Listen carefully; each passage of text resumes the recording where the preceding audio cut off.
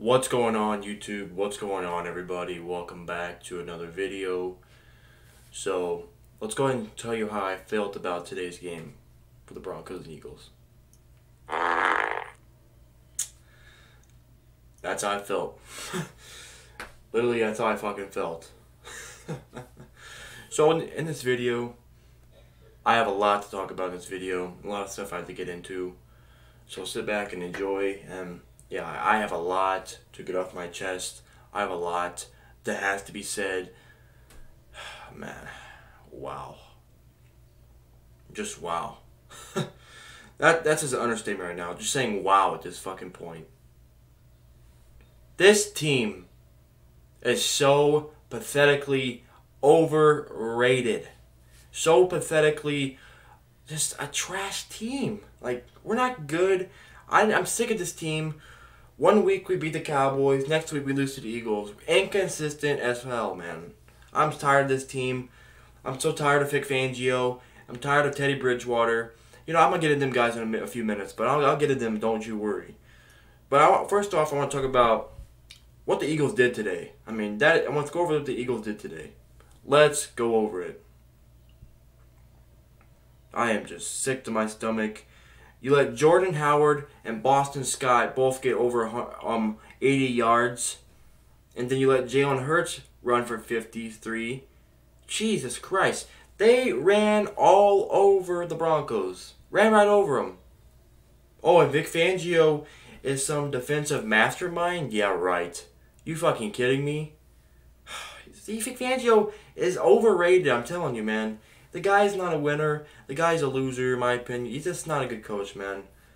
Maybe he could be a good, defensive coordinator elsewhere, but his time in Denver is up, man. His, his time is up. After the season, he's gone. Simple as that. Simple as fucking that. I mean, oh my god. Jalen Hurts was looking like Lamar Jackson out there today, running all down our throats. He was even passing on us. He, he threw two touchdowns to DeVonta Smith. DeVonta Smith was fucking murdering us today, like Jesus Christ. Oh my god, DeVonta Smith, man. The guy's a baller. The guy's a beast. Um, let's talk about Teddy Poopwater. Teddy fucking Two Gloves. Jesus Christ, guys. This guy is not a franchise quarterback. Teddy Bridgewater is not a franchise quarterback. He is a bridge quarterback. He is a damn game manager. He is a damn backup. Come on, he is. It's a reality at this point, guys. It is freaking reality. This guy is not a fucking starter. 226 yards, no touchdowns, no interceptions. Man, I'm so tired of the checkdowns. I'm so fucking tired of him checking down the ball. He, I mean, God, man, I just got so pissed off watching the damn game. Like, literally, I was screaming. I was getting so pissed off that this guy literally throws freaking two yard passes. What are you, two yard check down Teddy, man? What the fuck? I mean, he plays it so safe. man, oh my god, oh my god. This guy, man. Teddy Bridgewater is not our franchise quarterback. He'll be lucky to even be here next year. I don't think so. I don't think so. The Broncos missed the playoffs, then no. Get rid of him. I don't fucking care. I'm, I'm so tired of this shit. I want a franchise fucking quarterback. I want a guy that's going to be our franchise quarterback for years and years and years, and we cannot find a franchise quarterback. We've had four good years of Peyton Manning, but then he retired, and look what happened. Back to the quarterback carousel. Can't find a freaking quarterback to save our damn lives.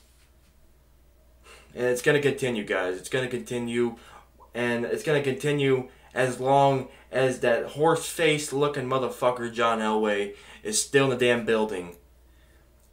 Some of you say, oh, he's not the GM anymore. I swear, he has some say in this team. I'm telling you. He has some say. I'm telling you, he does. And the same thing for Joe Ellis. They both, they will never get the fuck out. They need to leave. Joe Ellis and John Elway need to get the fuck out of the building. And let George Paton be the GM of the team. Because I think George Paton is a good damn GM. He's he made some good trades. He had a pretty good draft. Look at the draft class he had, man. All of them, all of them are pretty much contributing and having good seasons so far. And it's these John Elway players like Melvin Gordon. Melvin Gordon. Yeah, let's talk about Melvin Gordon real quick. The guy that we paid $8 million. to fumble the fucking ball? You fucking kidding me? you let Philip Lindsay walk? Let him get rid of Phil Lindsay for Melvin Gordon? You fucking kidding me, man? Melvin Gordon, a couple weeks ago, he fumbled the ball against Washington, almost cost us a damn game. We got lucky to beat the Washington freaking football team. And today, what do you know? Melvin Gordon fumbling the ball. no wonder why the Chargers fans and Charger fans were laughing at us that we got rid we signed Melvin Gordon. No wonder why the Chargers wanted to get rid of Melvin Gordon. Now I finally realize this guy is overrated, overpaid, and he sucks. I'm so tired of Melvin Gordon. He's a free agent after the year, and I hope he leaves. He can kick rocks and get the fuck out of Denver, man. He cost us this game. It's, it's mostly on this guy, Teddy, and Melvin Gordon. Teddy Bridgewater and Melvin Gordon. Javonte Williams should be getting some more carries than Melvin Gordon. Javonte Williams is better. I don't care anyone fucking says Javonte Williams is way better. Javonte Williams is my fucking running back. That is my fucking running back. He brings spark to his offense because this offense is dead. Let's be real. This offense is freaking dead. It is dead. Two yard checkdowns. Two yard checkdown. Teddy Bridgewater. Terrible. Terrible, terrible, terrible, terrible. Two yard checkdown, Teddy. Can never fucking get the ball moving. Oh my god, man. I'm so tired of this team. I'm so tired of freaking can't find a quarterback. I'm so tired of everything. So tired of this coaching staff.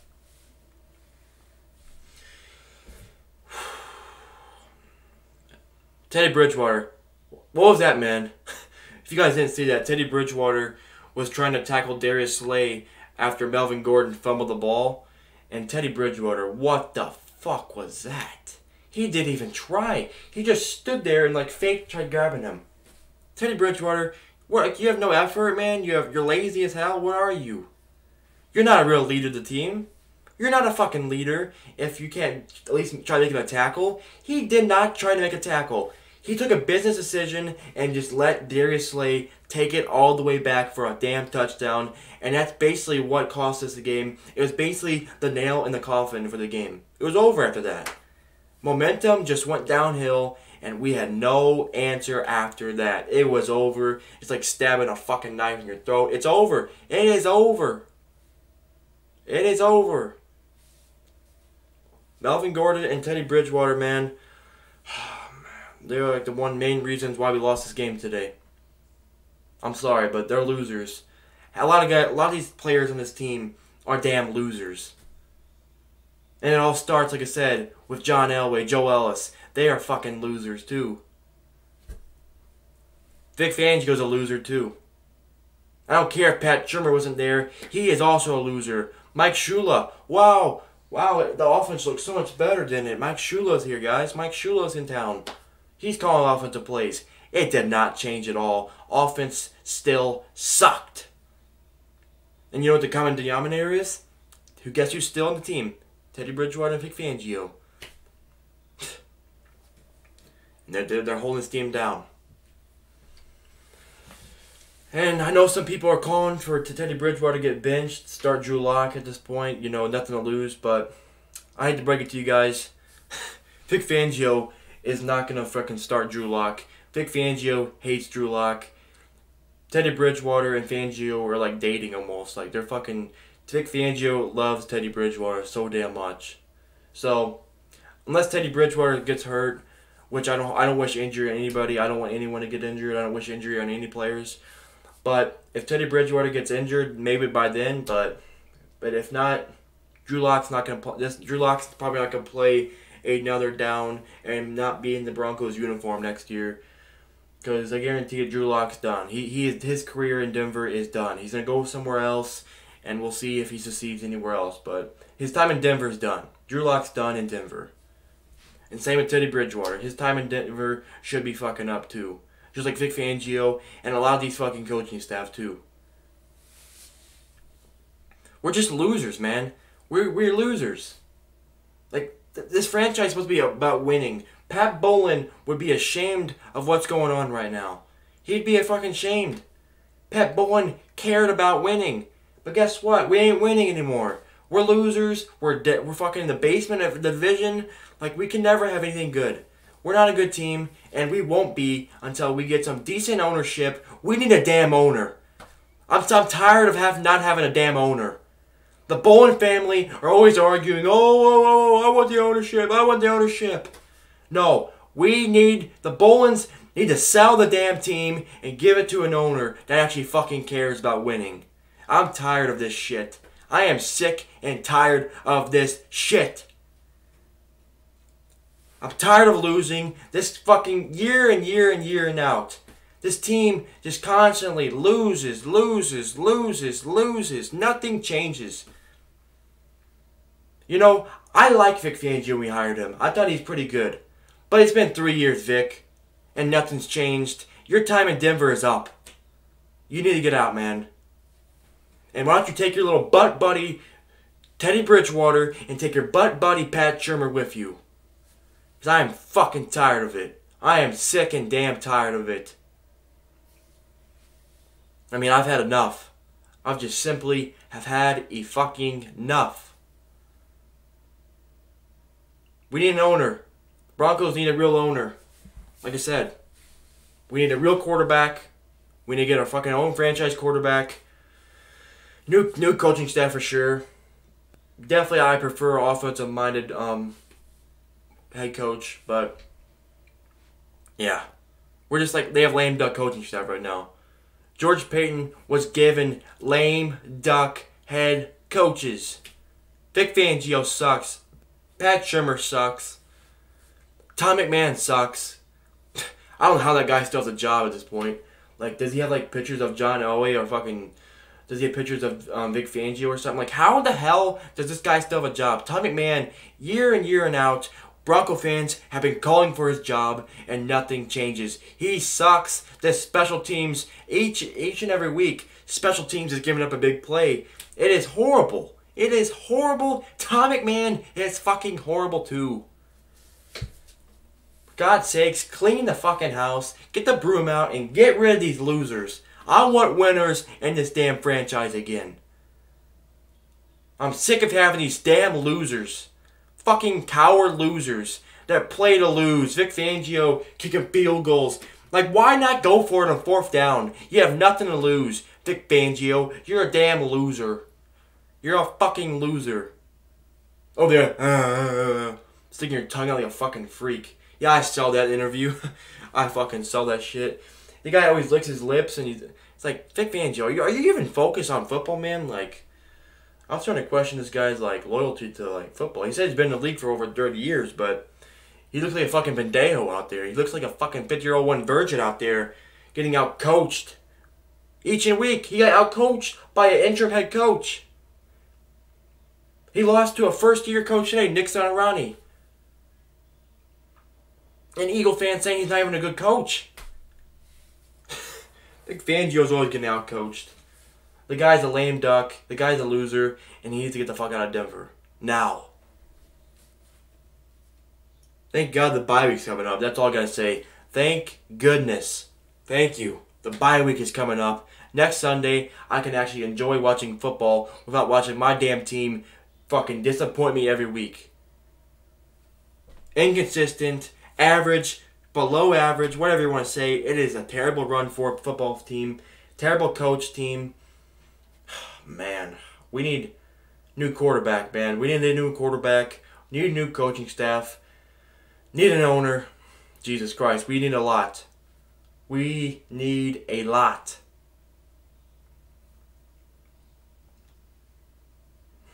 I'm just I, I can't defend this anymore, guys. I can't fucking defend it.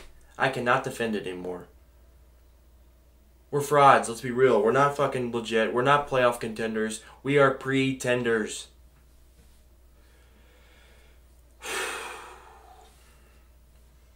Before I end the video, I, I, I have one more thing I, could, I gotta talk about is um, this certain individual that likes to curse his, his own team. Yeah, you know who I'm fucking talking about. You know who exactly who I'm fucking talking about.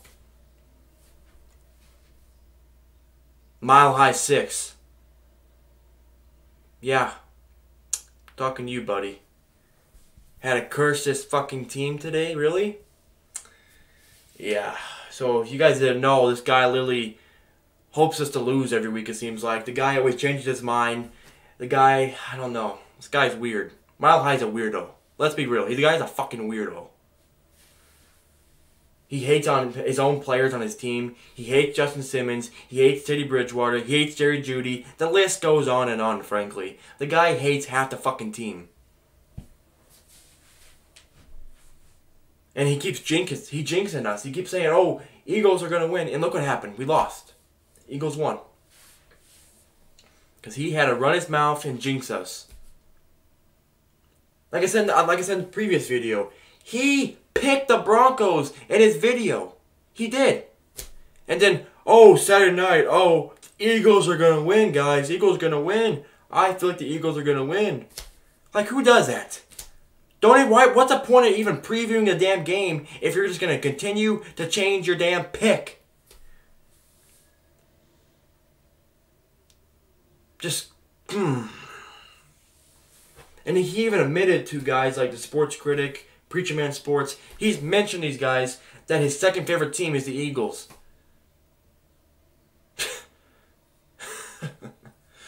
wow, this guy's this guy's crazy. He's embarrassing Broncos country if you ask me. And I don't plan on working with the guy anymore. I don't fucking plan on it. He used to be cool, but I don't know what the hell his problem is. Like, I don't know who he, he thinks he's fucking cool or something. Like, you're not fucking cool, Mile High. You're not fucking cool one bit. Me, me and Preacher Man are fucking disappointed that what you've done. fucking jinx the Broncos to lose. Yeah, I believe in jinxes because I, I think they are real. I think jinxes are real. Trust me. Before I jinx, I jinx some teams too, but this guy jinxed his own fucking team. I'm just disappointed in Mile High Six. I thought he was a, I thought he was a cool guy, but I don't know what his deal. He thinks he's fucking cool or something, like I said. But you're not fucking cool, Mile High. You're showing off or something. You're not fucking cool one bit. So don't think you're all so fucking funny, right? No, it ain't funny.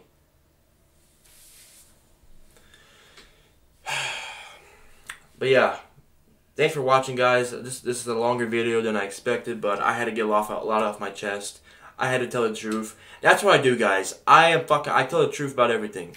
I speak the facts. I speak the reality about this team. And the reality is, this team is awful. This team sucks. I don't want to hear, oh, the Broncos are still in the hunt. They're still in the wild card picture. Still in the division race. Come on. Let's be real. You trust Vic Fangio. You trust Teddy Bridgewater. You trust Pat Shurmur. You trust Tom McMahon. You trust these little lame duck coaching staff. You trust this below average fucking quarterback Teddy Bridgewater. Seriously, you trust that going on? No.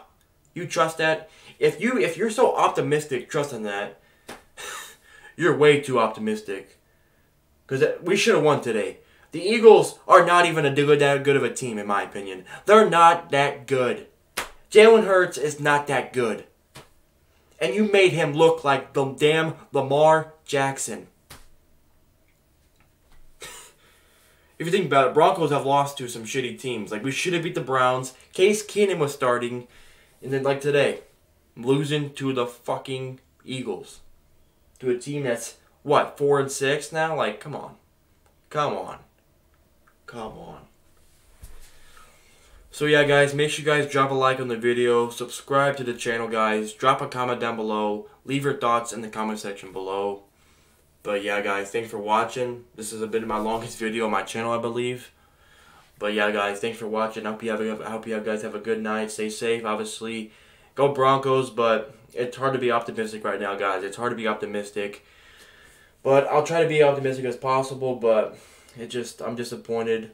I'm pissed off. I'm sad. I'm depressed. Everything like that. I'm just sick and I'm sick to my stomach right now. I am just had enough of the team right now. But yeah, guys, thanks for watching, guys, and I'll see you guys next video. And Mile High, please do not curse this team anymore. Do not fucking curse the team anymore. And just because I'm saying this right now, don't mean I'm cool with you. I'm still fucking pissed off at you. You shouldn't have said. You shouldn't. Don't don't talk about the games anymore. That's what I told you to do. Don't talk about the games anymore, please. Just shut your mouth about the games. That's all I ask from you to do. Is shut your damn mouth about the games. But thank God we have a bye week next week. So I'll see you guys later, guys, and peace out. Go Broncos and peace out.